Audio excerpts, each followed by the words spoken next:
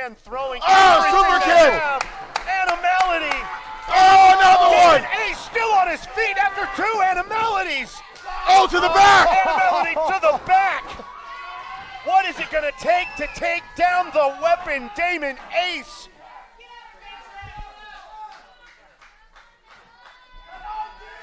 Damon to one knee. I cannot believe he- what I'm seeing. Damon, Damon's having trouble getting up.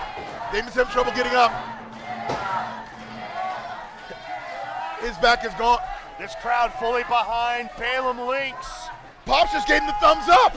Pops just gave Oh, Baylum oh. the thumbs up. Animality to the back of the head. And and choking.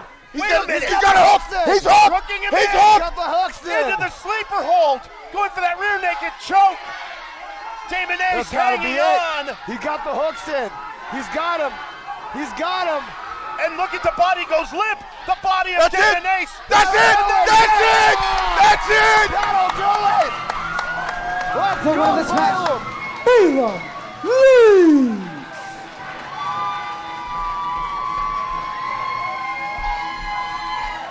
This cannot be easy for the father of Damon Ace to be at ringside to watch his own son.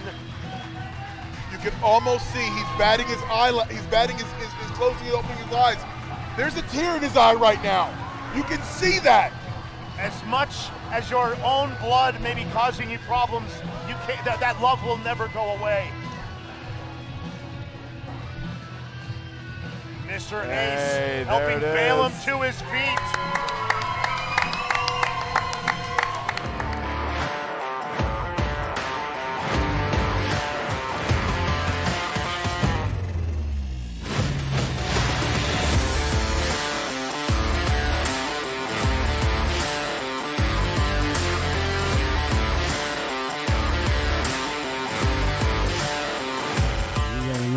Emotional matchup coming up that we're going to be talking about. The one before intermission, the one before halftime, the one that everybody was talking about prior to milestone 12. Damon Ace versus Baylum Lynx. Eyes. What do you got for this one?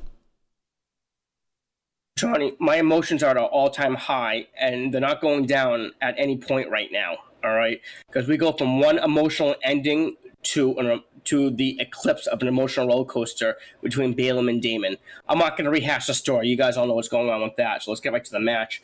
This is not your wrestling match. Th- This is no typical wrestling match. They just go right at it to begin the match. They go. They both want blood they both want each other's souls. Uh, I think Baylum got a little overzealous in the beginning uh, w- with his emotions because he went to the top rope a few times, and and Damon uh, cut him off right there. And um, Baylum, you know, fights him off, goes to top, goes to the top again, to that driving cross body that he's so good at. But Damon catches him um, and just has nothing of it right there. Uh, eventually, you know, he avoids an animality attempt from Baylum and hits a huge swing and neck, uh, swing and neck breaker for a close two. At this point, this is where the tide of the match starts to turn for Damon because he's in full control now. Um, they go to the out, they go to the outside of the ring as if this match is going to stay in the ring. Really, so it goes to the it goes to the outside of the ring. Yeah, with these two, it's the outside of the ring, and we talked about these these these barrels. Yeah, smashes Baylum's head into the freaking barrels, and then and then th- you guys didn't you guys didn't see this, but I felt this. Dalem, Dalem, yeah, Dalem. Damon grabbed. I know it's a long night, Eyes. I, I feel you, but but Damon, that's a good tag name. No, it's not. Damon grabbed Baylum's. No. It's not. Yeah, that was horrible. Bad idea, Ice. But he grabs Baylum's face mask. That's sacred to him. All right. He grabbed his face mask and he stomped on it. And, and ready for this? When he stomped on it, a piece of that actually broke off and came flying my way. And I was in the crowd for that. It came flying my way, and I. But the fanboy in me is like, "Oh, I got a souvenir! I got a souvenir! I want to take it home." Do you I, have it? I couldn't. Why know why? Because then, then the realistic me uh, uh, jumped into you know jumped into play right away. Like if I take a sharp object on the on the plane, I am going to get detained or or never come back to Massachusetts at all. So I couldn't.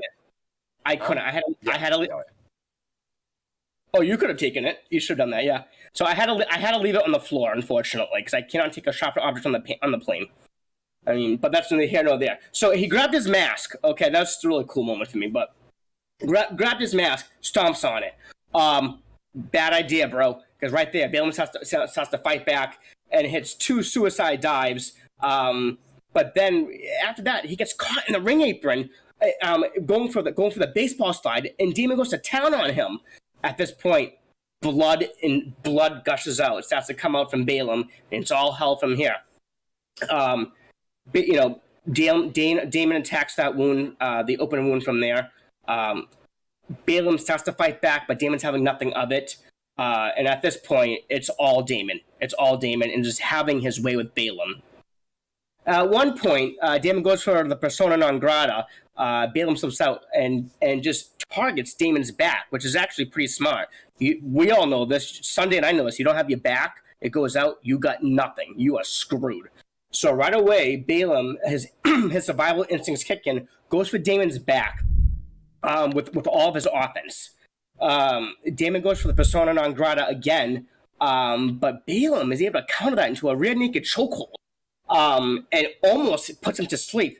But Damon's too powerful and strong. He's got too much left in the tank, and he fights out of that right away. Uh, not right away, but eventually fights out of it. Finally, he goes to the well, and it pays off. Hits the persona non grata. But at that point, Damon's back had taken so much abuse and punishment that he couldn't capitalize on it uh, right away, um, and he couldn't put a proper cover on it, and be able Baylum kicked out of it. At this point, we're near the end of the match here, and Damon sets him up for the kill shot. Uh, yeah, oh, God, I can't imagine that. I've seen that in real life. That doesn't. That's not pretty. Anyways, I digress. He sets him up for the kill shot, and then guys, we're talking about emotions here, emotional roller coaster. Johnny, I just mentioned that. Damon's father comes out out of nowhere. His his own living blood comes out and, and distracts Damon, and rightfully so. I mean, you spine busted him a week before that. This distraction allows Baylum to hit a top rope crossbody for a near fall. All right. At this point, both men are just on pure adrenaline right now, just giving it everything they got. Finally, Baylum hits the three animalities, um, and with that third one being to the back of Damon Ace. Uh, hits one more uh, to the back of his head, uh, and and then locks in that rear naked chokehold, and Damon just goes to sleep, and that's your match, guys. This was the best. You guys, I, I know we're all going to agree here. That was that was a lot, and that was exhausting, but it was a good type of exhaustion.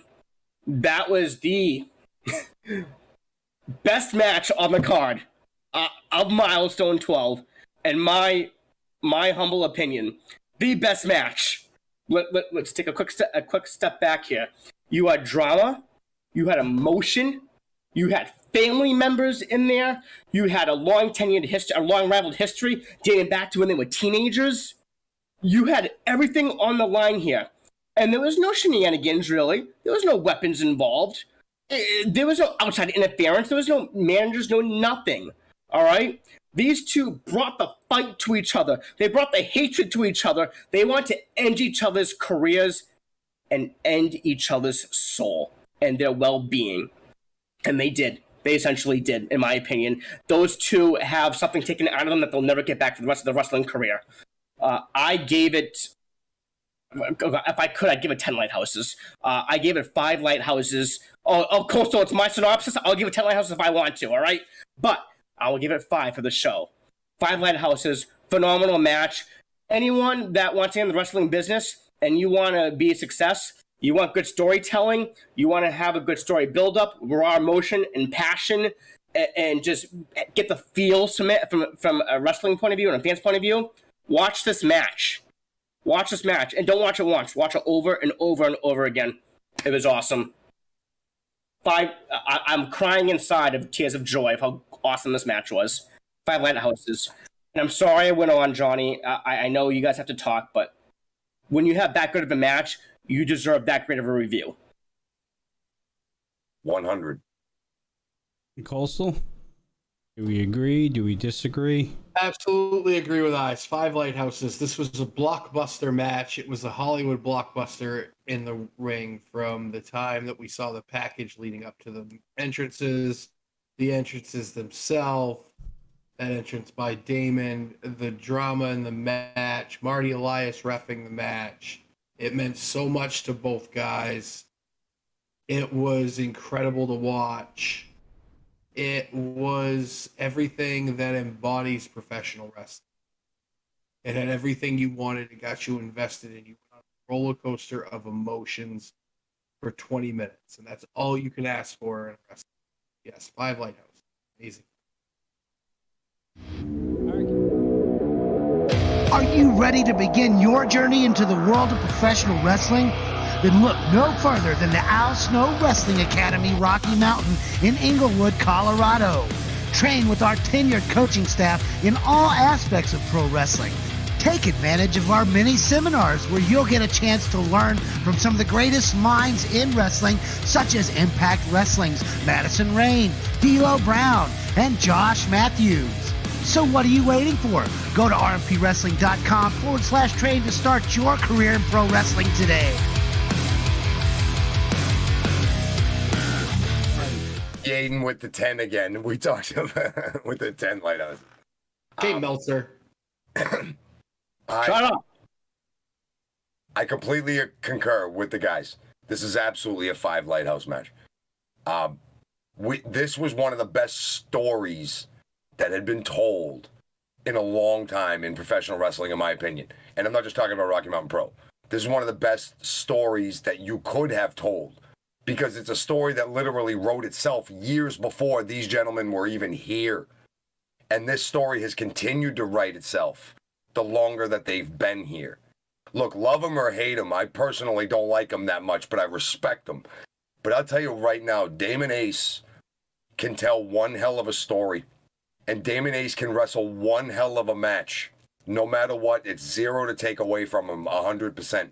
And you know that both of these guys put everything out there because they've been waiting to do this for months now, nay, years now from going back to the years and years that they've known each other. Not even just the Yaden with the ten again, Jesus.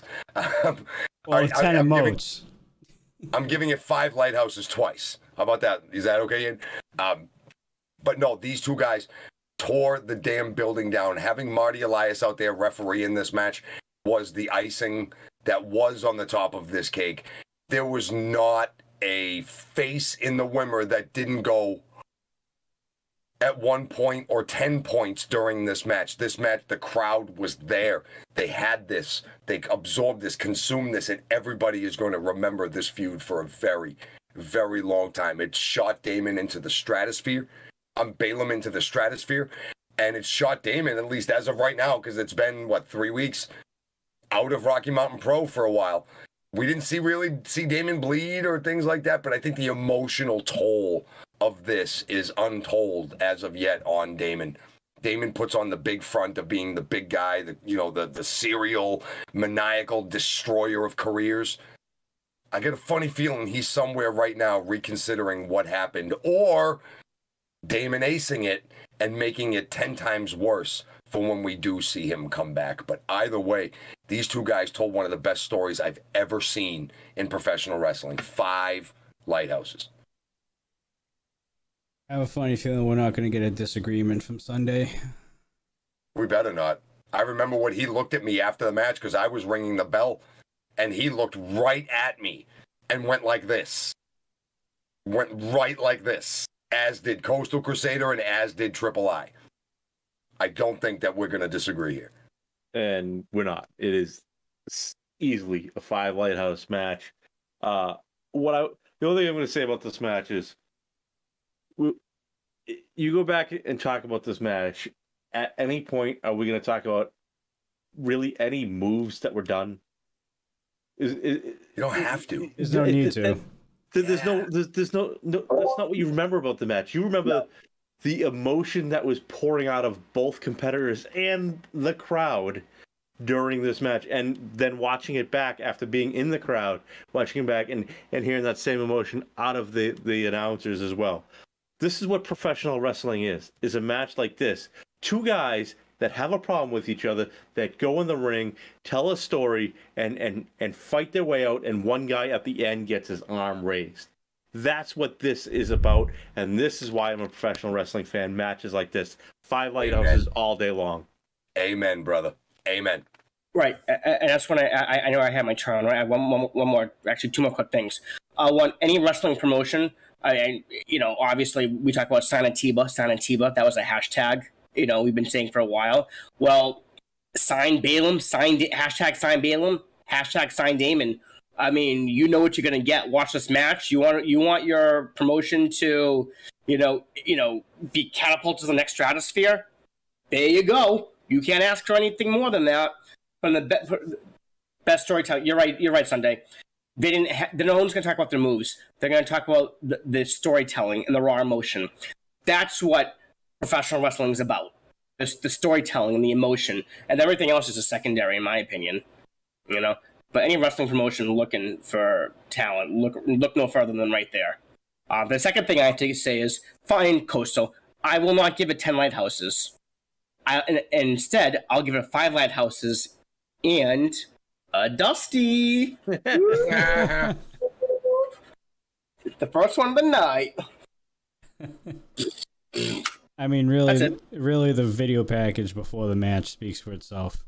Oh my God. Oh, yeah. That Yep. video package, even if you didn't know what was going on or hadn't seen what had been going on over the last few months on social media, the posts that had been made between the two, and other random interactions, the Danger Dean stipulation of they can't touch each other, and then the night that they did beat the crap out of each other, and all that drama that built the volcano to that eruption point. Even if you had missed that, and you saw that production package before that, you would know that these are two of the most important guys with two the most important blood feud that is maybe not the most important feud, but one of the biggest blood feuds you've ever dealt with. My goodness. Massive kudos to the production team at RMP for putting that package together. That was one of the best packages I've ever seen. It was, and, but I, I'll say this, Marky. Um, not to digress from it, Damon couldn't have been hurting that bad from the match afterwards because the next because the the next night uh, when we saw him, he you know he kind of he kind of hurt my chest a little bit when he chopped me. you know, so I was on the receiving end of a Damon Ace chop, not as hard as Marky, but it still hurt. But he got chopped on this show as hard as I got chopped that. That's true. All That's right, true. Why do you think I'm refing now? kudos to Baylum, Damon, and the production team, especially because the Yeah. production team really put this story into perspective for everybody that was at the arena tonight. Five lighthouses right there goes to Baylum and Damon for their fantastic performance at Milestone 12. And Daddy Damon Ace as well. And Daddy Damon Ace. He didn't even have to if do anything. Well, Mr. Ace got in the ring and raised Baylum's hand and looked out Yep. at Damon with, and I'm a dad. Coastal, you're a dad. Sunday, you're a dad now. You have that disappointed look. Not because he lost the match, but I think the family ties, and I'm, I'm sure Baylum had come over and probably had coffee or had dinner at the Ace house uh, many times. I'm sure he's very good friends with Mr. Ace.